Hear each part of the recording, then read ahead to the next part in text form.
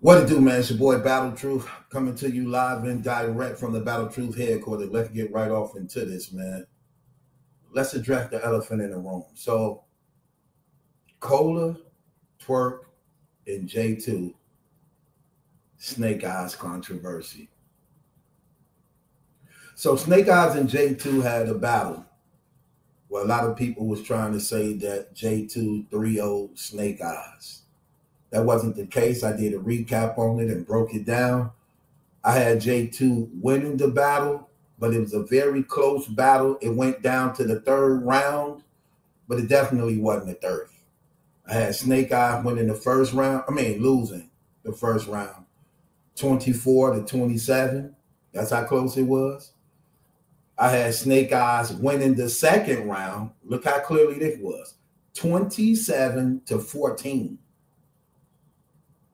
I had Snake Eyes losing the third round 12 to 14 because he stopped his round short in the third round. But even though he stopped his round short in the third round, J2 only had 14 points and said his whole round. So what do that tell you? But I had J2 winning the battle 2-1, first and third.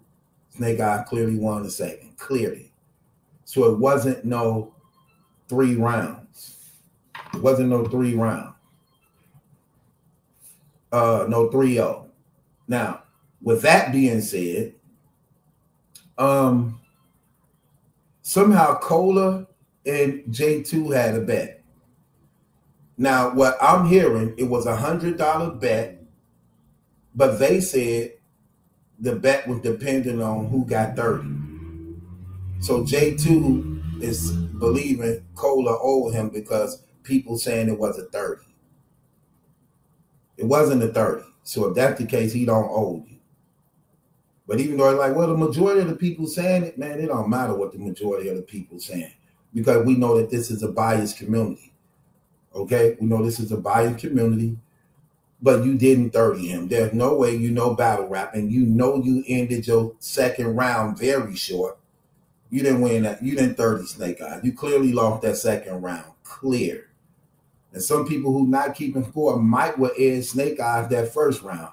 But I was keeping score, and because I was keeping score, I had you winning by three points. But that's that was a close round. Okay. However, when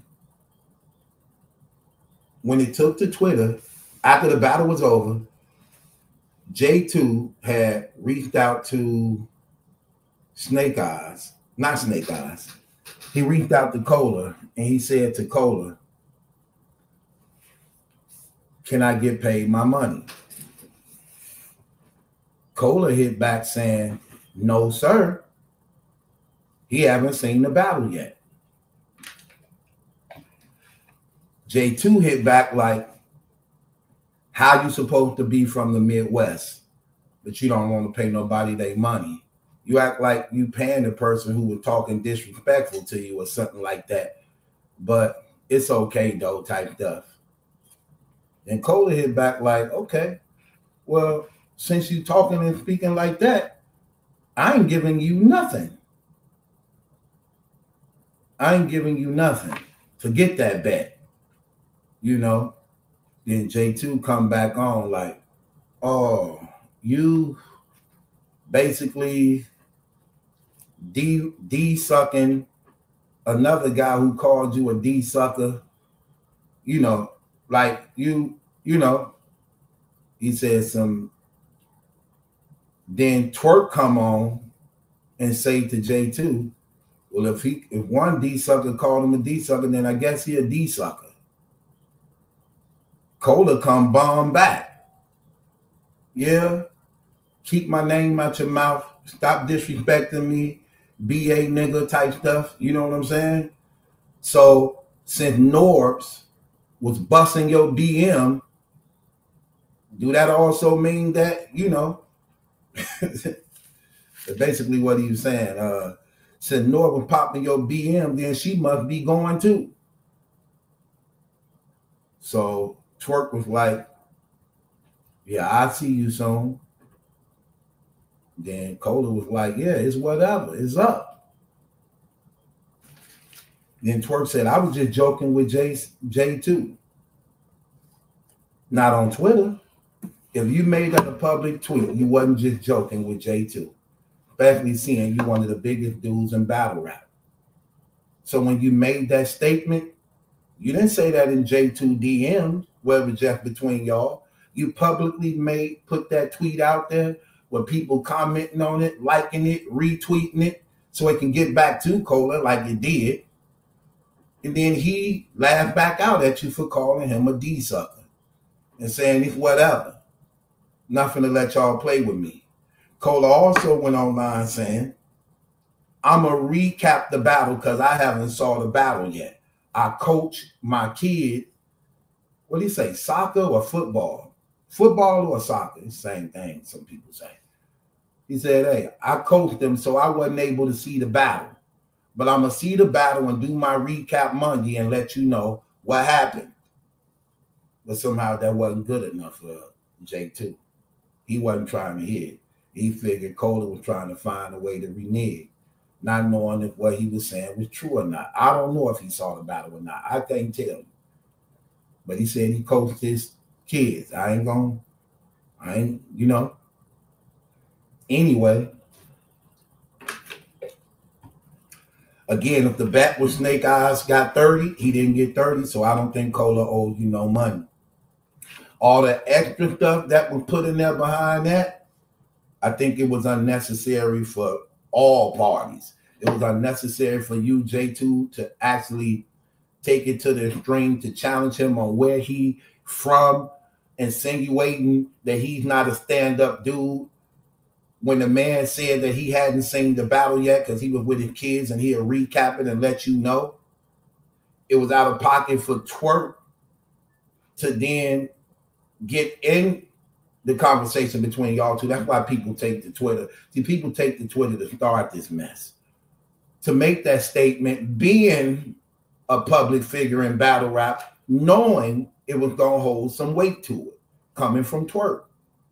To make uh, Cola not care and challenge him and disrespect him to the point that now threats is going up that when I see you, you know what's up. And Cola like, okay, it is what it is. It's not good for neither one of you brothers. And the one thing I don't like about black men, it, it, and this is what led to a lot of these brothers getting killed, that you see all on the internet that when you wrong, you don't accept responsibilities and actually uh, uh, uh, uh, uh correct where the fault lies as a result of pride and not wanting to seem like you weak. Let me tell you something. That's not a sign of weakness. When you as a man can acknowledge where you went wrong at and can win your brother back rather than making an enemy was weak if when you know you was out of pocket, then you don't want to address it and acknowledge it and don't care where what what it lay at, putting others in harm way, even yourself. That's what's weak. That's what's weak. As a man, if you offend somebody as a man, it's nothing to say, bro. I was out of pocket. I called that wrong. My bad. Nothing is wrong with that. In fact, that's strength. That's power. That's what's missing out of today not having stand up men that's able to recognize these things. But again, we so conditioned to dislike each other. We so conditioned to hate one another that even when we wrong, we don't care. We be wrong and strong. Did you hear what I said? We be wrong and strong, even though that's weak.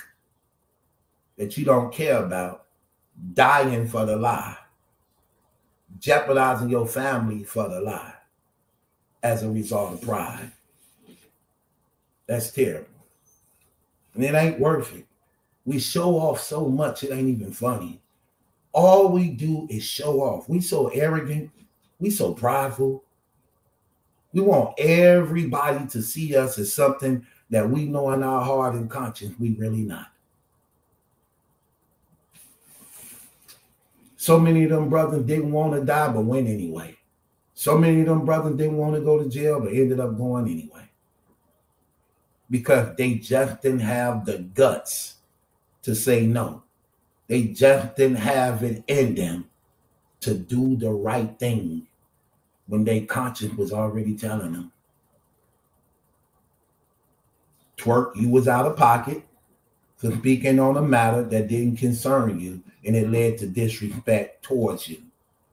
J2, you was out of pocket also for not allowing the man to actually reconsider what he may have said after he watched the battle, saying he was with his kids at a game and that he was going to recap it. You overreacted and jumped into action so that you could get people like they do on Twitter to just vouch for you and okay and heart you and and when you challenge the man, then you bring things out of the man.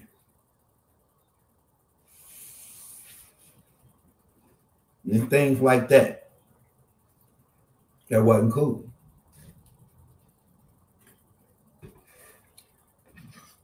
I just want to know which one of you brothers gonna be man enough to acknowledge where you went wrong at and correct the situation rather than getting everybody else involved in this mess. So that's what it all comes down to. That's what it all comes down to. And this is the era we living in. People be saying they love their homies and guys or their family members, but don't have no problem with sending them off. You're putting cables on them, but you love them. These your homies. These your guys. You slide and ride for them, but you don't have no problem with sending them off. Right. It is what it is, man. I just hope brothers can start just growing up, start being mature, man. Stop being so foolish and ignorant. Stop being so gullible. Stop looking for approval and acceptance in others. And know that at the end of the day, you in this alone. You the only one going to have to stand before God. You the only one nine times out of ten gonna have to answer for your own actions. Stop thinking that you got partners and homies because you don't. Because let me tell y'all something real. Let me tell you something about this, this gang stuff that's so fake that y'all need to come to the knowledge of. Alpha males cannot live together. So if you in a gang or crew and y'all supposed to be alpha males, there's going to be betrayal because alpha males don't look up to other alpha males. They want separation from the other one, even if it means betraying them. So stop thinking guys your guys because what they are allowing you to say, what they are allowing you to do, what they are allowing you to give. Because at the end of the day, if they alpha males, betrayal is right around the corner. You're gonna get snaked, you're gonna be talked about, and you're gonna find out they're gonna become your enemies. The Bible say, "Cursed is the man who put his faith, put his trust in another man." That's why your real family, your real gang, supposed to be your wife and your kids. Because them the ones not gonna betray you. Why? Because they know and they come from your body. They come from your body, and you put your body and your wife, y'all become one soul through the intercourse. And your children come from your body. Nine times out of ten, they have your best interests and they know what you mean to the family. So keeping you alive mean they survival. But when you're dealing with friends and guys, your life can be in a way that they believe of their success, which why a lot of these guys get betrayed by their best friends and homies, especially when you're dealing with alpha males. So if you got shooters and hitters, they considered alpha males. Now their guns pointing at you. Now they sneaking you. Now they pouring salt on you. Because alpha males don't get along with each other. If you see a group of men always together with each other, you can bet if they alpha males, there's going to be some friction sooner or later. Because only the beta men stay around other men